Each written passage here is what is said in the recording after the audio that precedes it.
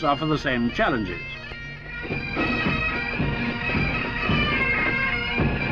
Throwing the 28-pound weight, Arthur Rowe, holder of the world record.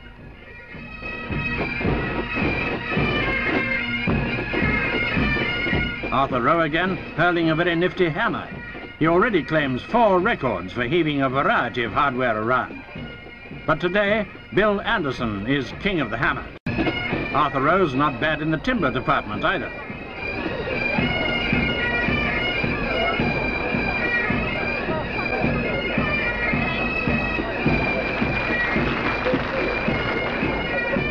American competitor shows you don't have to be born within the sound of the pipes to toss a respectable caber. But as Bill Anderson demonstrates, it does help. Human ingenuity can certainly do marvelous things. It can make even 20 tons of complex machinery fly like a